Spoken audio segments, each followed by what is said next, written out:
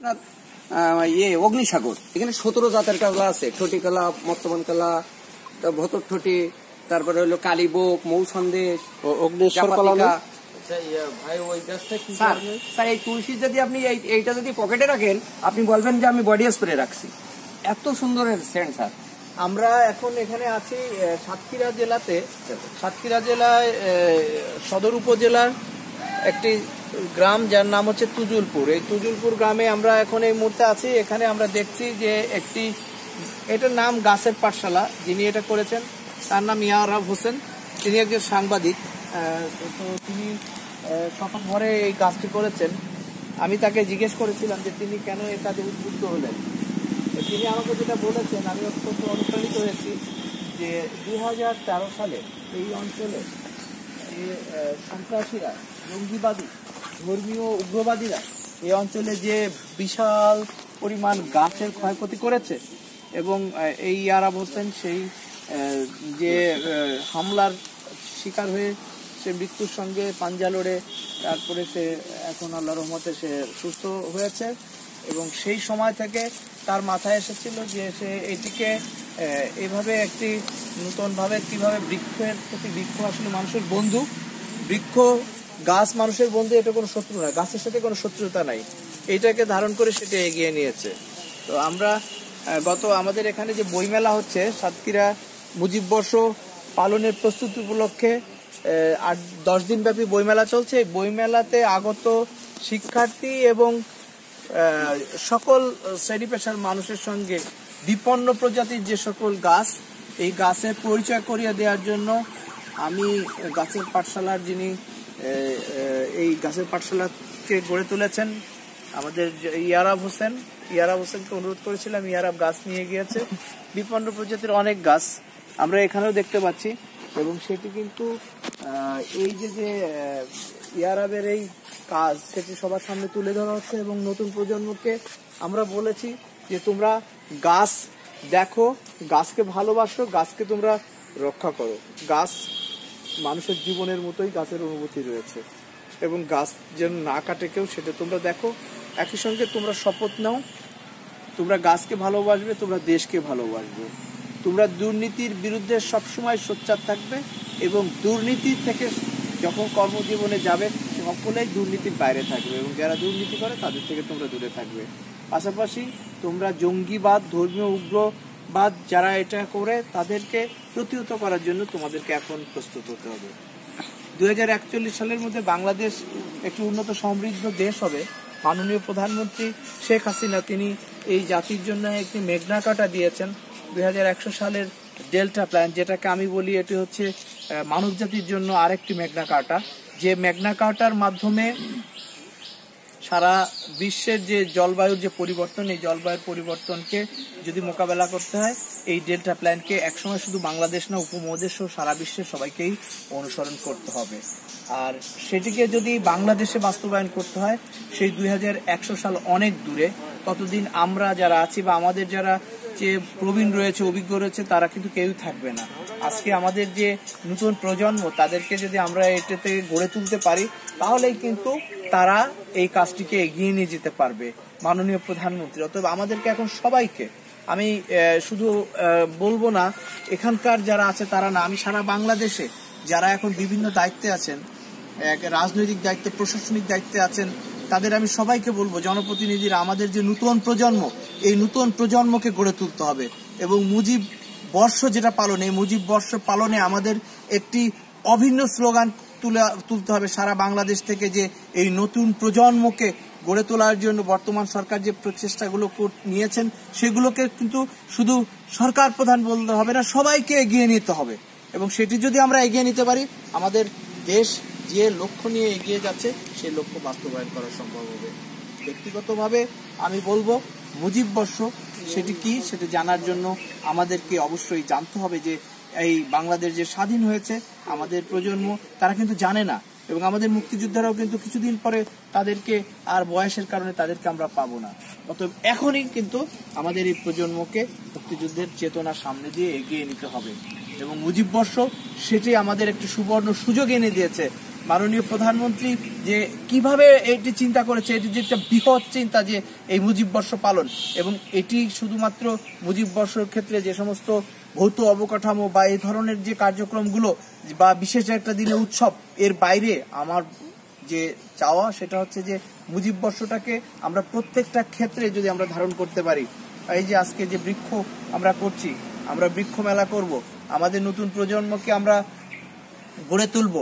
আমরা বলব যে মুজিব বর্ষে একটা স্লোগান উঠুক সারা বাংলাদেশ থেকে এবং জাতীয় পর্যায়ে যে কমিটি রয়েছে, সেই কমিটির কাছে আমি লিখিতভাবে দেব এবং আমি এখন বলতে চাই সবাইকে যে একটাই স্লোগান হবে, সেটা হচ্ছে যে আমরা বাংলাদেশকে দুর্নীতিমুক্ত করার জন্য মুজিব বর্ষ না, মুজিব বর্ষের আগে থেকে যে প্রস্তুতি হয়েছে এবং মুজিব বর্ষ এবং স্বাধীনতার যে আমাদের যে রজত জয়ন্তী হবে, সেই রজত জয়ন্তীতে জন্য আমরা সবাই বলতে পারি যে, স্বাধীনতার আমাদের যে দুই হাজার একুশ সালে যেটা আমরা ই করব, উদযাপন করব, সেই সময় যেন আমরা বলতে পারি যে, বাংলাদেশ একটি দুর্নীতিমুক্ত দেশে পরিণত হয়েছে। এবং সেই স্লোগানটাকে যদি আমরা তুলে আনতে পারি, আমরা যদি আমাদের গাছকে ভালোবাসি, আমাদের পরিবেশকে ভালোবাসি, আমাদের পরিবেশ সংরক্ষণের দিকে নজর দিতে হবে। আজকে আমরা এই যে গাছের পাঠশালায় এসেছি গাছের কাছ থেকে আমাদের সবসময় শিক্ষা নিতে হবে। এবং নামটা আমি বলব যে এটা অনেক সুন্দর একটি নাম, যে গাছের পাঠশালা। এটা আসলে আপনাকে এখানে এসে, আমাকে এসে এখানে কিন্তু বিভিন্ন শিক্ষা নিতে হচ্ছে। এই যে যে এখানে ছয় থেকে সাতশো গাছ আছে। বিপন্ন প্রজাতির অনেক গাছ রয়েছে। আমরা অনেক গাছ যেটার নাম কখনো শুননি সেই ধরনের আছে। আমরা আশা করব, আমি এখানে যারা আমাদের বিভিন্ন স্কুল আছে, আমি জানুয়ারি মাস থেকে এই স্কুলের স্টুডেন্টদেরকে এখানে নিয়ে আসব।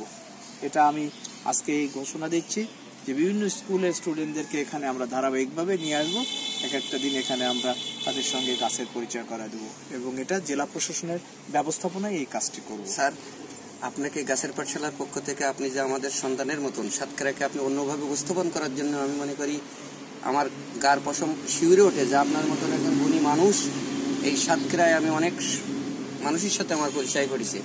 কিন্তু আপনি আমাদের যেভাবে আগিয়ে তোলার জন্য যে আপনার যে উদ্যোগ এই উদ্যোগকে গাছের পাঠশালা কৃষি হাসপাতালের পক্ষ থেকে এবং সাংবাদিক সমাজের পক্ষ থেকে আপনাদেরকে স্বাগত জানাই যে আপনার মতন গুণী মানুষ যেন আপনারা দেখে আমরা অনুপ্রাণিত হই আমাদের গায়ের মধ্যে শিউরে উঠে আপনার কথাগুলো যখন ভালো লাগে। আমরা গাছের পাঠশালার পক্ষ থেকে আপনাকে ধন্যবাদ জানাই অভিনন্দন জানাই এবং এই গাছের পাঠশালা যদি কোনো পরিবর্ধন পরিবর্তন কোনো ই থাকে থেকে- থেকে তাহলে আমি আপনার কাছে সেই প্রত্যাশা রাখি যে গাছের পাঠশালার আপনি একজন আমি বলব যে আপনি আমার অভিভাবক এবং এই গাছের উপদেষ্টা হিসাবে আমি মনে করি আপনি এই গাছের আজকে থেকে আপনি আমার এই উপদেষ্টা হিসাবে আপনি সর্বক্ষণ যে ইয়ারবরে শুধু বলবেন, আমি আপনার পাশে থেকে আমার বাকি জীবন স্যার আমি সেদিন ওই দুর্বৃত্তদের পা জড়িয়ে ধরে বলেছিলাম যে আমার দুটো মা আছে, আমার মেয়ে আছে, তোমরা আমার মেরো না সেদিন তারা শোনেনি। কিন্তু আপনার মতন এই শুভাকাঙ্ক্ষী আজকের বিভাগীয় কমিশনার সেদিন আপনার মতন আমার বুকে আগলে ধরে আল্লাহর রহমতে আমাকে সারিয়ে তুলে আজকে আমি মাননীয় প্রধানমন্ত্রী পুরস্কার পেয়েছি এবং আপনার মতন সান্নিধ্যে এসে এই গুণী মানুষের কারণে, আপনার মতন গুণী মানুষের কারণে হয়তো আমার মাথার উপর ছিল কিন্তু বলে আল্লাহ তোমার বাইসে রেখেন। আপনাকে স্পেশাল ধন্যবাদ জানাই। আপনি সাতক্রাই ছেড়ে, কর্মজীবন ছেড়ে হয়তো অন্য কোথাও যাবেন, কিন্তু আপনার যে কর্মময় যোগ্য, সারা যুগ যুগ ধরে সাতক্ষীরাবাসী মনে রাখবে। আপনাকে স্পেশালভাবে ধন্যবাদ জানাই। এই হৃদয় ধন্যবাদ, ইয়ারাব। আমরা এখানে দেখছি অনেক যা বাস। একটা নাম দেখছি ডিস- টিস্যু টিস্যু ভুতুম বাস সোনালী বাস কালী বাস চায়না বাস হরেক রকমের বাস। আপনি আপনি যথার্থই বলেছেন যে এটা যে আমাদের এখন যিনি মান্যবর বিভাগীয় কমিশনার স্যার এখানে ডিসি ছিলেন যেই সময়টি সেই সময়টি কিন্তু এই তাণ্ডবটা শুরু হয় এবং অত্যন্ত দক্ষতার সঙ্গে স্যার এটাকে মোকাবেলা করেছেন এবং আপনি এই সময় যে শিকার হয়েছেন স্যার আপনার পাশে দাঁড়িয়েছিল আমি অত্যন্ত গর্ব অনুভব করছি আমার শ্রদ্ধা স্যারের জন্য যে কারণ একজন জেলা প্রশাসক হিসেবে যেভাবে তিনি মানুষকে ভালোবেসেছেন এবং মানুষের পাশে এসে দাঁড়িয়েছেন, আমি কিন্তু এটা থেকে অনুপ্রেরণা নিয়েছি। আমার যে বিভাগীয় কমিশনার স্যার এবং স্যারের আগে এবং স্যারের পরে যারা এখানে জেলা প্রশাসক কাজ করেছেন তাদের রেখে যাওয়া যে সকল ভালো কাজ সেই ভালো কাজগুলো কিন্তু আমাকে অনুপ্রাণিত করেছে এবং উৎসাহিত করেছে মানুষের জন্য কাজ করার জন্য। এবং তাদের যে রেখে যাওয়া কাজগুলো সেগুলো কিন্তু আমি সর্বান্তক্রমে এগিয়ে নিয়ে যাওয়ার জন্য চেষ্টা করি। বিভিন্ন সীমাবদ্ধতা থাকা সত্ত্বেও। আচ্ছা, আমরা আজকে একটা- কথা জিজ্ঞেস করি।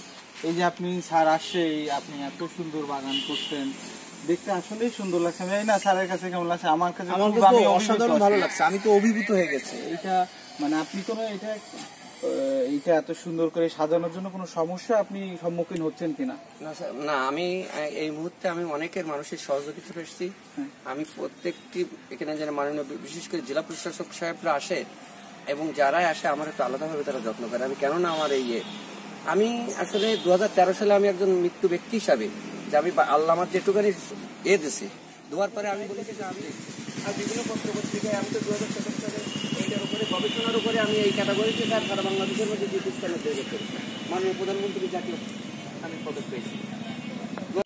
স্যার এটা পৃথিবীতে দুদিন হলো আমার আঠাশে আপনার হলো স্যার এটা কিন্তু রুদ্রাক্ষ। এটা স্যার একদম জ্বলতে জ্বলতে জ্বলতে জ্বলতে মানে এতে কিন্তু স্যার ঔষধি গাছের আপনি দেখেন?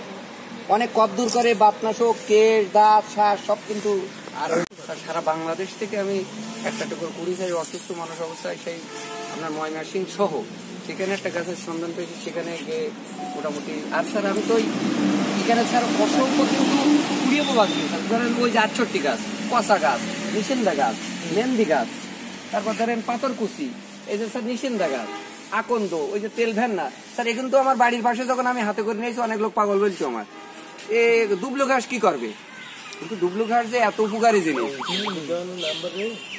দুবলা তো আগে আমরা ওই যে কোথাও কেটে গেলে হ্যাঁ স্যার অ্যান্টিবায়োটিক মতন কাজ এইটা এইটা হলো আমাদের মশলার কর্নার করতেছে স্যার। এইটা হলো এটা আপনার কালকে এটা অল মিট মশলা। এটা যদি আপনি বেটি তরকারিতে দেন তাহলে তরকারিতে আর অন্য কোনো লাগবে না। আর এইটা হলো দই গোটা। এইটা স্যার আর কদিন পরে আপনার ফল দেবো। একটা একটা দুটো দানা দেবেন স্যার।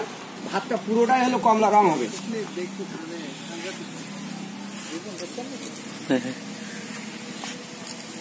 এটা এখনও হয়নি স্যার। এটা এ- এ- এ- এটা হবে স্যার। এটা হলো এই দেখেন। এটা কি? জাফরানটাই। হ্যাঁ এটা জাফরান বলি কিন্তু এর নাম হলো দই গোটা স্যার এই একটা দিলে এটা ধরেন ভাত রান্নার পোলোয়া রান্নার আগে দুটো তিনটে এবার এটা দিলে- দিয়ে পোলাও স্যার এটা আমি এটা দেবো। স্যার এটা এটা দেবো। এটা এটা দিয়ে দেবো। সিলেট সঠিক। সাতকরাটা লেবুর মতন খেতে হয়। আর আপনি এইটা ভূতরা আপনি যদি এই জায়গায় দিয়ে স্যার আপনি মনে করবেন কামড়াইছে। কেউটির থেকে তিন দিন খালি ওর মধ্যে আপনি খরচা আরে এইটা তো আমাদের এলাকায় এটার মধ্যে হ্যাঁ? পাতা।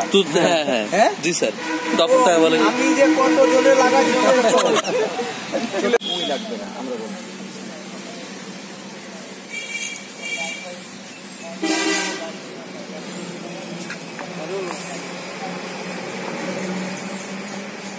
এইটা স্যার ঔষধি প্লান্ট এটা সব। এটা সম্পূর্ণটা ঔষধি প্লান্ট এটা ফলস